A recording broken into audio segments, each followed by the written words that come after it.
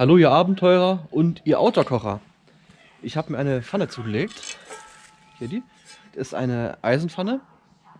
Da fehlt der Griff. Den Griff werde ich jetzt schnitzen. Da werden wir die Pfanne einbrennen. Und ich zeige euch, wie es geht.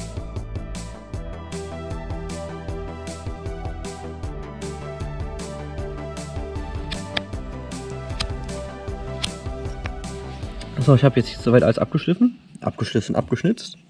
Ich guck mal, ob es passt. Ich weiß es nicht.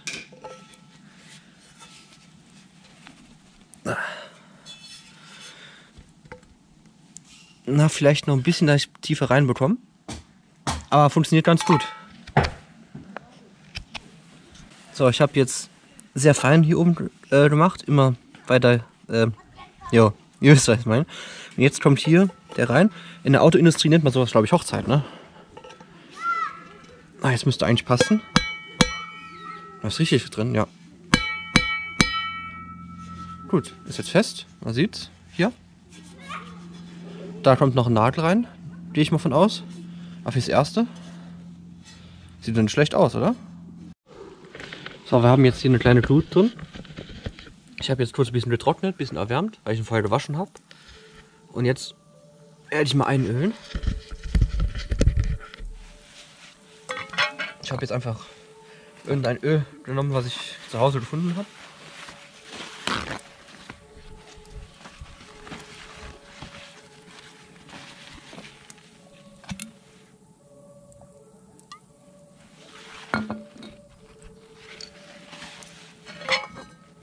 So, das gut verreiben.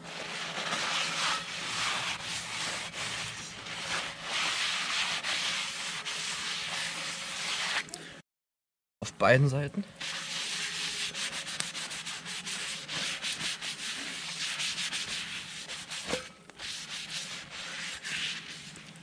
Und dann ab dafür.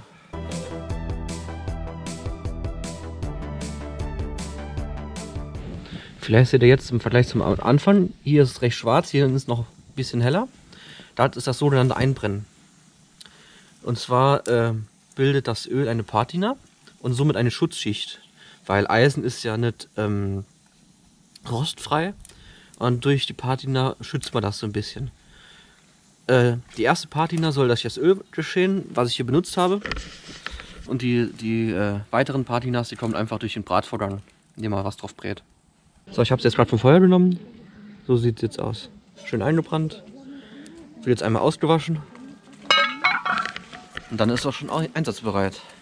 Das heißt, mein kurzes Video ist mal was anderes. Wenn es euch gefallen hat, Daumen hoch. Wenn nicht, könnt ihr gerne Kommentare lassen mir sagen, warum nicht. Und bis zum nächsten Mal.